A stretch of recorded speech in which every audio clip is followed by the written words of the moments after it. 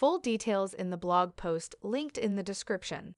The blog post will be kept up to date with any new details that appear. Ensure that the cables are connected correctly. It could be the case that the dark shadow is being caused by a problem with the cables connected to the TV, especially the HDMI cables. It would help to make sure that they are connected properly. If you happen to have another HDMI, try using that as instead and see if it solves the issue. Try a software update. There is a possibility that there is a software bug causing the issue. You can turn on automatic software updates by going Settings, then Support, then Software Update, and ensure Auto Update is turned on. Alternatively, you can manually update over the internet by clicking Update Now. Try doing a soft reset. Often, a soft reset is all that is needed to solve issues on a Samsung TV. A soft reset does not erase any data.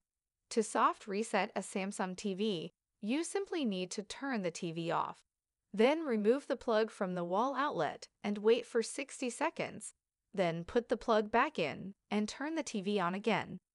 Try a hard reset. A hard reset involves completely resetting the TV to its factory defaults, and your data will be erased. To do this, do the following. Turn on the TV and press the Home button on the remote. Go to Settings, then click to General, then click Reset. You must then enter a four-digit PIN number, which is 0000 by default. Then click Yes to reset the TV. The TV will then turn off once it has finished resetting. You can now turn the TV back on and set it up again. Do a picture test. A picture test is a self-diagnostic process that allows the TV to identify the problem and find a suitable solution. To do this, do the following. Press the Settings button, go to Support, go to Device Care, go to Self-Diagnosis. Then click Picture Test the device you are using is not HD.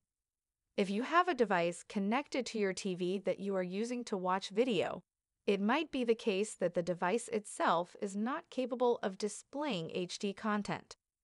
Also, if you're streaming content, it could also be the case that you have a low resolution selected in the settings.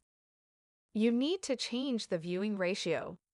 It might be the case that you have the wrong viewing ratio set on your TV. To fix this, do the following. Go to the home screen. Click the menu button and go to the Settings menu.